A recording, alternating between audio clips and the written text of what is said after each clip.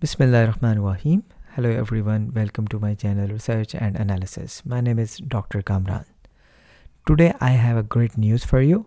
Recently Google Bard has updated their algorithm and now by using updated algorithm you can draw different kind of graphs and charts. If you are not an expert in excel or any other complicated softwares still you do not need to be worried because now you have google bard. So i'm going to give you a quick demonstration of this tool how you can draw the graphs by using own data sets to draw the graphs we need to have the data set since i do not have any data set at the moment so i am going to use chatgpt to create a data set for us so that we can draw the graphs.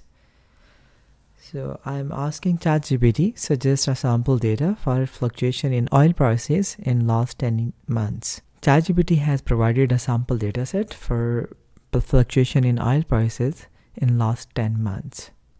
So let me copy this data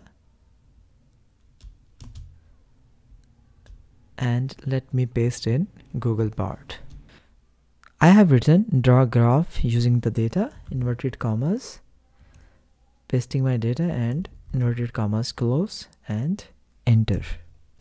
Look Google Bard has drawn a graph by using our dataset and we can also modify this graph based on our choices.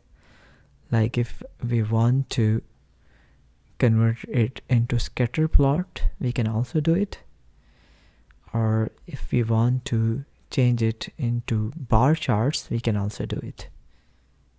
And we can also draw some other kind of charts as well like uh, if we are interested to draw a pie chart we can also draw it by using our dataset. So I have written draw a pie chart by using this data. See Google Bard has drawn a pie chart for us here one important thing that I want to clarify. If, if you want to draw graphs you do not necessarily need to use the data sets from ChatGPT. Of course if you have your own data sets in Excel or any other format you can use that data sets as well to draw these kind of graphs. I hope this video will be helpful. Thanks for watching